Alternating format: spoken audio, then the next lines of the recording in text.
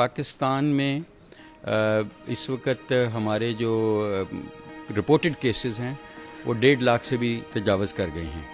तो मैं समझता हूँ कि जो लोग इन्फेक्ट हो रहे हैं, वो अपने घरों पे हो रहे हैं, अपने दफातर में हो रहे हैं, दुकानों पे हो रहे हैं, अपने स्टूडियोज़ में हो रहे हैं या अपनी यूनिवर्सिटीज़ में हो रहे हैं।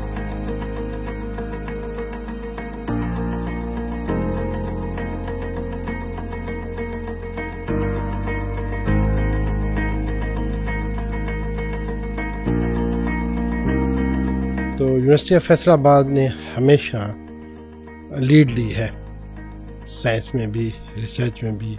अब इस वक्त जो पेंडेमिक है, इसमें अलहमदिल्ला यूनिवर्सिटी ऑफ़ फैसलाबाद एक लीडिंग रोल जो अदा कर रही है।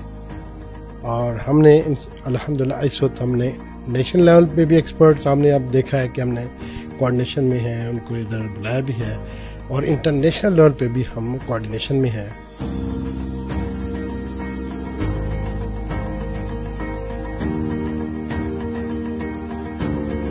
ये बुनियादी तौर पे हमारा यहाँ पे जो रिसर्च सेंटर बना है कोविड रिसर्च सेंटर और क्लिनिकल ट्रायल्स के लिए, इसका मकसद ही ये था कि हम जो यहाँ पे अपने मकामी जो जो गरीब लोग हैं, जिन लोगों की हम खिदमत कर रहे हैं यहाँ पे, उनके लिए हम कोई एक ऐसा तरीक़ा कार वज़ा करें और इस तरह की मेडिसिन जो है, उसका इस्तेमाल जो है, उसके ऊपर रिसर्च करें।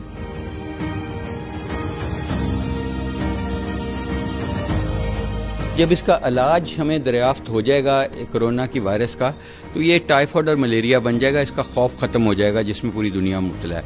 तो मैं समझता हूँ वो रिसर्च से आंसर आएगा।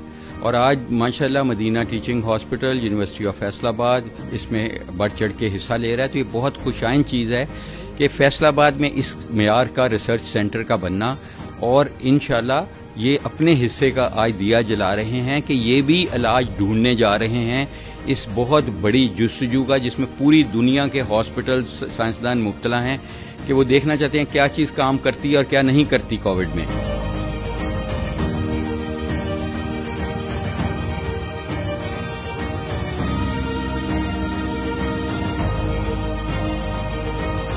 ऑब्वियसली फ़र्स्ट रिस्पॉन्डर्स तो हेल्थ केयर प्रोवाइडर्स होंगे।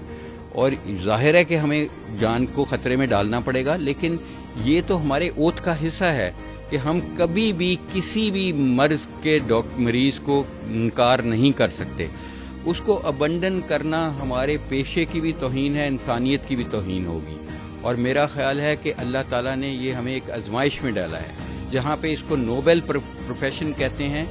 नोबेलिटी उसकी सबसे बड़ी ये है कि आप अपनी जान को खतरे में डाल के लोगों की जान बचाते हैं।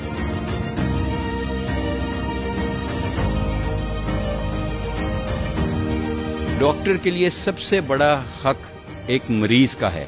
और अगर आप इस वक्त मरीज़ को इनकार करते हैं और पान वाली या सिगरेट वाली दुकान से आपको ये वायरस लग जाती है तो फिर आप क्या करेंगे?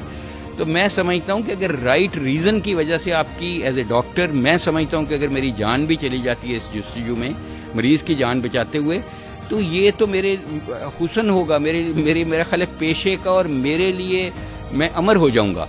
इससे बेहतर मौत मुझे क्या मिल सकती है कि मैं अपने पेशे को यूज़ करते हुए किसी इंसान की जान बचाते हुए अगर मर भी जाता हूँ तो ये तो मेरा ख्याल है अल्लाह को बहुत प्यारी होगी ये मौत।